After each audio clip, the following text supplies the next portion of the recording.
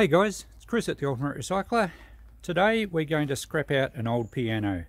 Now before you start jumping up and down, uh, pianos are, yes they're a beautiful antique piece of furniture, um, but even in really good condition these days they're almost impossible to sell at any given time on eBay or Facebook Marketplace you can find them giveaway for free. They're so heavy, they're hard to move, people these days just really don't want them and it's such a shame, I agree. But before you give me a thumbs down for scrapping out something like this, um, I've looked at a lot of videos and people that have been scrapping them out and a lot of people are getting negative feedback because you know they're such a nice piece of furniture. But if you had one of these in your shed and you didn't have room for it and it wasn't in the best condition what options do you have? The uh, thrift stores won't take it. You can't give them away. So this scrap out session, I'm not going to wreck it. I'm not going to trash it with an axe. I've seen some people pour petrol over them and burn them, and I think that's a shame. They deserve their thumbs down. But what I'm going to do is try and recycle what I can. Uh, some of the beautiful timber we'll try and save. There's going to be a little bit of scrap metal in it. But I'll try and repurpose what I can. And the bottom panel's off it now. And that's actually quite a nice piece of timber. It'll be veneered, but um, Look, someone will do something with that. It'd make a nice cupboard door. Uh, surely can be repurposed and some of its beauty will, will live on. So that's what we're going to try and do. You can see that panel's just come off from underneath the keyboard. And inside it they have a heavy cast iron uh, frame or harp I think they're called where all the strings are attached. Now the strings are on, uh, they're tensioned and you do have to be careful. Uh, I read numerous warnings about how they can be dangerous. I've seen people cut them with uh, tin snips with an angle grinder. I'm going to try and hopefully get the whole soundboard off intact and we'll use it perhaps as a big wall mounting. Someone might buy it. The old hammer assembly there, you can see quite a lot of them are broken. This piano wasn't playable, it was just too far gone. And as you can see, the veneer has started to lift, it's been damp. So we'll salvage what we can. We'll try and recycle as best we can. There won't be anything go to landfill. Uh, there will be a little bit of firewood at the end, but this panel here is quite nice. We should be able to rescue that. And the keys, well, I'm not sure if the keys are ivory or not. I'll have to do a bit of checking. It's quite an old piano. I would say it's early 1900s. And from what I was reading, pianos had their, their peak around 1900 to 1910. Still plays a little bit and there was absolutely thousands of piano manufacturing companies around the world at that stage but look their time has come and gone unfortunately. So rather than just dump this one we'll see what we can salvage. We might get a little bit of scrap metal out of it but we'll get as much as we can to repurpose. Now it's pretty easy to get access into these things. Most of these panels uh, just come off either with a few screws or with a couple of just little pivot levers. Um, they do need to have good access for being tuned, so this top panel will just basically lift straight out and it will expose all the hammer assembly. Now even though that's a bit damaged, I'll try and get that off in one piece and I think it's just a couple of pins at each end and it lifts out as well. So um, we'll get all the panels off and we'll have a better, better look at it then and see how we're going to go about getting the main soundboard apart. Now that only took a couple of minutes. Uh, there was only two screws holding the entire hammer mechanism in place. It just lifted out. It had some locating pins and it's just sat on those angled pieces down there. So that shows us a good view of the soundboard at the back. And have a look at this image here. Looks like a really early, like late 1800s, 1900, uh, probably a piano factory. Um, so yeah, they really had some pride in their work. And this one's a Holling and Spangenberg. Um, so probably German, I'd suggest. And uh, won lots of medals. Perhaps it didn't. Perhaps they just printed medals on there so it looked like it did.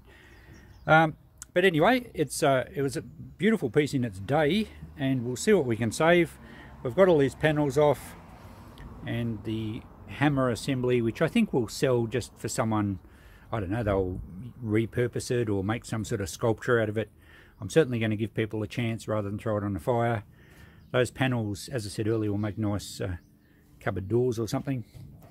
So, you do, I guess, if you've got a piano to get rid of, you need to consider um, what you could reuse it for. And if this one, if the timber on this was still really nice, I would have considered leaving the cabinet complete. And I have seen them turned into uh, a drinks bar. I've also seen modern keyboards put in here where the actual keys are. So it's uh, still a bit usable, but they are very heavy and they are still, even if you do some sort of upcycle with it, they're still very hard to sell because people need the room and you need a pretty much a professional removalist to get the thing safely where it's got to go. But anyway, there was no choice with this one. It was too far gone. The cabinet wasn't uh, worth the effort. So we've got down to this stage now. All these keys, now that we've got the hammer assembly out, will actually just lift off. They just sit on locating pins. And if I can do this one-handed, they will just lift straight off. So there we go. Now, I'm not sure if it's ivory, as I said. I don't know if they're worth trying to sell, but I'm going to put all these keys in a big tub and I'll put them in the shop for, I don't know, 20 bucks, $10 perhaps, whatever it takes. Someone will repurpose them somehow, or if someone does see value in in the uh, ivory, if it is ivory, then um, you know they might get a bargain and I'm happy that I've kept it out of the tip. So I'll take all those off next. Then we'll just look at probably removing the sides. I'm not sure how we're going to go there. I can probably take that top lid off. Uh, I'll need a smaller screwdriver for that. At this stage I've only had two screws to take out, but now it gets a little bit more involved. So all the keys are off, that didn't take long. Now one of them I noticed had some writing on it in pencil, and I think it's someone's name, but it looks like a 1909 date, or it could be 1904, which fits in with about what era I thought the uh, piano was. So we have a whole box of piano keys and the timber levers they're on. Uh, I'm going to try that in the shop for $20 and see how we go. So I'll keep a track of what I get out of this. And the other thing to look for is very often you can find coins and treasures underneath and it'll become more evident if we do as we pull it apart. But I thought I saw something up this end just underneath that dust there. Oh, it's not a coin, it's a key. Alright, that's not very exciting. Looks like a reasonably modern brass key. Anyway, um, I know a lot of people do find coins in pianos and down the bottom as well. So we'll keep an eye out for any little extra bonus treasures we find. So the next step, uh, I'll see if we can get this keyboard section off, like the frame that holds the keyboard. I'm not sure. We're going to have to start taking some screws out, I think. So, show me a scrapper that hasn't found money in a piano, and I'll show you a scrapper that is still scrapping because they can't take a holiday in the Bahamas. Two cents.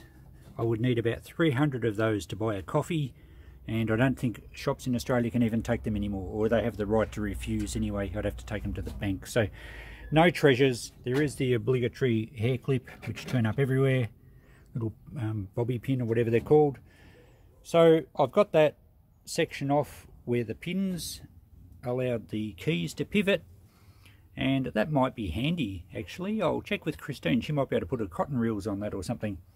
So we'll try and repurpose everything we possibly can. The next stage here, I don't want to take too more off, too much more off the ends because I don't want the legs to kind of let go. There's still a lot of weight in it. So I'll try and slide it forward and we'll have a look at the back. There is a back panel to get off. Uh, and then eventually we'll probably have to lie it down because these things are still quite dangerous being so heavy. So there's a large back panel to get off and I didn't mention before but one of the metal casters was broken on the bottom which made the whole thing rather awkward to load on my trailer. So uh, just another reason why it wasn't worth trying to uh, save as a piano. Right, so I'll take all these screws out we'll have a look behind that back cover and I wonder if we'll find another two cent coin. Wow, it's not only the cast iron that makes these pianos heavy, look at the size of the timber they use in this back frame. So that's massive, there's a lot of good heavy timber there. They're only short lengths, but they're going to be handy for something way too good to burn. Uh, interestingly, every noise I make back here sounds like I'm in a giant underground tank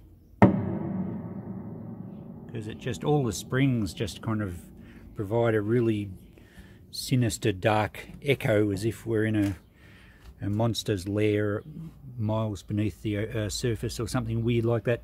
But it's just a harmless piano unless it falls on you. So next step, I think that back is going to be right to lay down now. And then we can work on taking the ends off. I'm going to try and get the whole back assembly with the soundboard off kind of in one section and just have a look at it and just appraise whether it's worth trying to sell.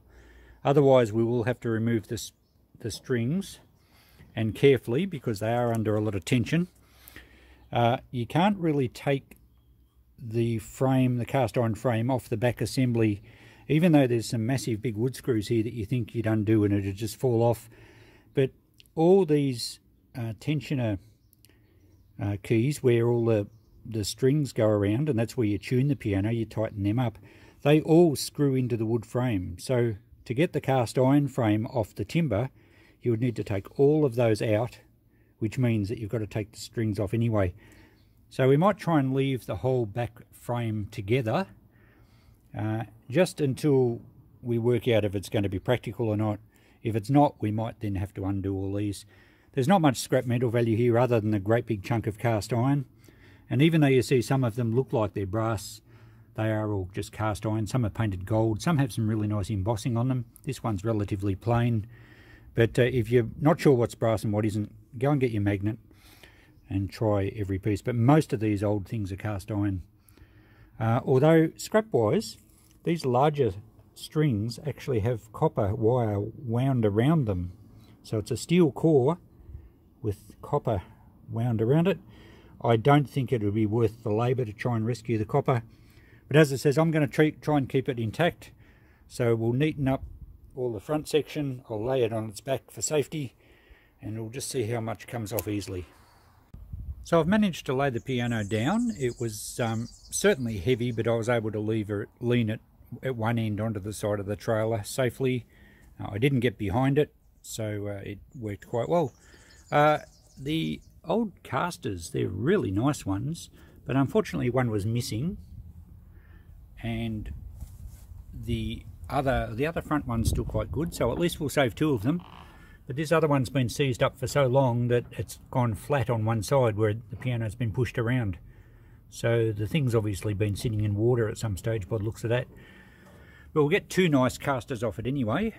Now I want to try and get these brackets off because I think they're quite saleable. Um, although I did notice the other one has a bit of a split, but I think it's worth gluing because they'll sell quite well. Uh, now there's a bottom panel as well. I don't know how the sides come off at this stage. I would prefer not to try and hit them off with a hammer, but we'll see how we go. I don't want to waste too much time on this. I do need my trailer and it's supposed to rain tomorrow so I've got to get this finished today. I've been taking little screws out everywhere, taking out every little bracket. I've got the sides of the keyboard off. Nothing appears to have been glued, just lots of large chunky wood screws which I'm saving as well as all the little brackets and bits of timber. I'll put them all in a box because you know it's really nice genuine old timber. Uh, there's no plywood. It's um, even these pieces you know they might make good swivels for an old cupboard latch. Someone's going to have a use for bits and pieces. I don't want to burn them. All the other bits I've got the brackets off there which are quite nice. They're the ends. And I've done undone a few more screws and this the main keyboard bed is now loose so I should be able to lift that straight out now and that will leave us pretty well just with the back frame and the, the harp or whatever you call it. And then I'll have to assess what I'm going to do. Um, it's still pretty heavy. I might get that pivot off down the bottom too. And every move I make has this eerie echo. And I dropped a screwdriver before and it played a couple of really spooky notes. So I'm not sure if that's the piano's dying gasps um, I will have you know that I played a little bit of Für Elise, Beethoven's Für Elise, before I actually started. I didn't record it in the interests of hordes of subscribers leaving my channel because of my dubious piano skills. Um, but half the keys didn't work, so it was barely recognisable. So, alright, we're getting there. I'm going to take this big thing off now, and uh, I'll stand it up and see how it looks from there. I think that is, that's as far as I'll go with this dismantle. I reckon that I could probably sell this soundboard uh, complete as it is. I think if we take it apart any further then we've really got to look at undoing all the strings and I'd rather it all stay intact. It's perfectly safe if it's all intact and there's no damage to the cast. I think it'll make a great um, sort of decorator piece on someone's um, outdoor living area or on their veranda or in a shed.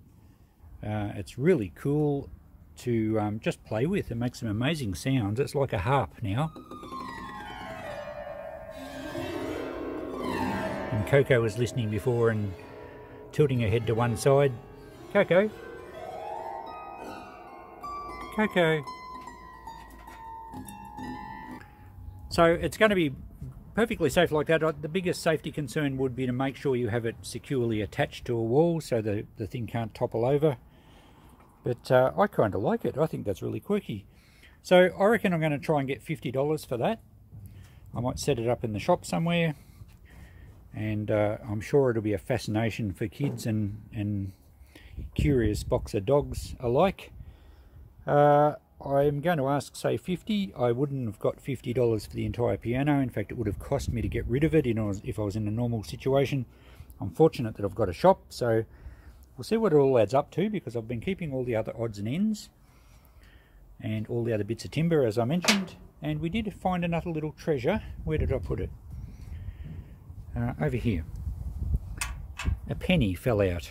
It's an Australian penny and I think it's 1948 so it's not a key date or anything so we might get a dollar for that so we found a couple of coins but uh, yeah I'm going to finish up our scrap out here I'll work out prices of everything I'll see how I go I probably won't publish this video until I've actually sold things and uh, then you know that you know that's the prices that are achievable these brackets should bring a bit of money and I've got some other bits of timber in that back screen We'll certainly won't be sending anything to the tip and I don't actually uh, plan on burning anything. I don't think there's any need. It's too nice a timber. So we'll stand this up and set it up and show you what it looks like before we finish up. And then I will give you a total at the end of this video. So I've just unloaded this uh, piano soundboard at the front of the shop. It was easy enough to slide it off the trailer, even though it's very, very heavy. Used a combination of trolleys and just slid it along its back. And then I can stand it up on its own. The pleasing thing is that the frame is very sturdy and I I would need two hands and a lot of effort to actually push it over so it's going to be very safe freestanding. Uh, it, it's impossible really for it to tilt forward because of those legs and most of that weight is right against the back but it seems like it would take a lot to even tip it backwards so pretty happy with that it's actually going to be very safe uh, freestanding unit I have a spot in the shop to put it so uh, I might just vacuum it out so it's a little bit cleaner. It's probably still about two-thirds of the weight of the original piano, but uh, I can manage it on my trolley and it's got a nice solid flat base on it. So I'll clean it up and I'll make some room in the shop. Time now for a final wash up on this piano scrap out. In fact, scrap out's really an inaccurate term because we really didn't get much scrap metal. Most of the piano value I feel is going to be in timber uh, so what I've priced things out at, the large soundboard uh, harp assembly, I put $50 on that and I had it in the shop this weekend and a lot of kids just really enjoyed playing with the strings. I think it'll sell. Someone will find it quirky enough to uh, to take home. The hammer assembly I just put 5 on. The box lot of keys I put 20. The caster wheels, I've actually sold them already and the guy wanted the two broken pieces, one broken one and one just, there was only a steel plate remaining, but I got 10 for those. Uh, jar of screws, I put all the hardware, all the large wood screws in a jar, and I will get $5 for those, I'm pretty sure. Uh, then we have the large brackets, I've put 20 on those. The music holder was actually screwed to one of the panels, I took that off, and here it is here. Um, I put five on it, but uh, I think most of the value actually is in the hinges. They're brass double hinging hinges, so they're pretty cool. I would have $5 on those just on their own. But we'll see how we go getting five for that. Then we have the two nicer panels. There was the one just above the keyboard and the one under underneath where your knees go. I put $20 each on those and I think they'll sell. They're in pretty good condition those. All the rest of the wood pieces, including this box here of all the small bits, I've just put $10 to lot. Now I'm sure a woodworker will appreciate the value there. It's all a hundred year old timber, uh, probably over. And you'll notice with the old timber, it's all beautifully straight grain. There's very few knots in it, so it must be fabulous to work with. Some of it's nicely veneered, uh, but there's lots of little nice bits. I think $10 a lot, and that includes the lid and uh, a lot of other little bits and pieces. I think it's good value. Worst comes to worst, it can go through my workshop fire, but I'd rather not burn it at such a nice timber. Then we have the brass pedals. I cleaned those up. Interestingly, they're actually not solid brass. They're just a, a brass skin over a steel pedal. But I've put uh, $10 on a pair of those. Now, someone will definitely buy them, and I don't care what they want to use them for. It's look, it's who knows, but it doesn't matter. I'm sure we'll get $10 for them. So, the wash up. Well, that added up to, I haven't actually added it up, but I think it's around 170, I think. 20, 60, 65, 85, 90, 100, 120, 170, 175. You would never get these days $175 for a piano in this condition. So it's a good turnaround. I probably spent a couple of hours, maybe three hours on it, but then I was filming and everything. So, and I did clean up things like these pedals. So it's a pretty good return on your time. What have we got left? Well, the only scrap metal was these few bits, so not worth weighing. Uh, so I'll just chuck them in the scrap bin. Uh, and just on the lines of scrap metal, if we can't sell or you don't have a way of selling that large harp soundboard assembly, the cast iron piece I would imagine weighs around about 100 kilos. It's going to vary depending on the brand of piano. Uh, 100 kilos would equate to, it would sell as, as heavy melt steel in size which they call it here, it would sell for probably around about 350 a ton. If it's about 100 kilos, that's about $35. But it's a lot of work to get all those, those pins out. You've got to cut the strings too, which is a little dangerous. So I'd much prefer to sell it complete. Uh, so scrap metal wise, there's not a lot in a piano really. Uh, a few other odds and ends. Well, I think I'll be fairly safe in saying that you're always going to find a coin or, or two of some sort. That one's about a dollar for a common Australian penny. Two cents is neither here nor there. I might even put it in my copper bin. The brass key, well, I do sell jars of keys, but most of you would just throw it in a brass brass bin. A couple of other bits of hardware. Just about all the hardware was wood screws. There's one spring that'll go in a jar for springs and a couple of old square nuts. So, And this piece was is actually spring steel, and I'm going to keep that because sometimes if I'm repairing an old door lock, you want a nice piece of spring steel so I'm not going to write down any value for any of that, but it's handy little bits and pieces. Uh, so all we have left is the felt bits that came off that board that had all the pins on it.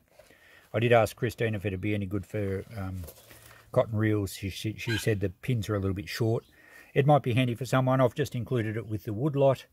But really, for our entire piano, that's all that's going to go to landfill. So I think it's a successful experiment. Would I pick up a piano to scrap? Definitely not. They're too heavy. Uh, there's not a lot of work for what you get out of it if you can sell the timber. But it's interesting to see what's in it. I'm glad I've done it. It adds to my experience. Thanks for watching, guys. Uh, look out for me in the next video. Bye.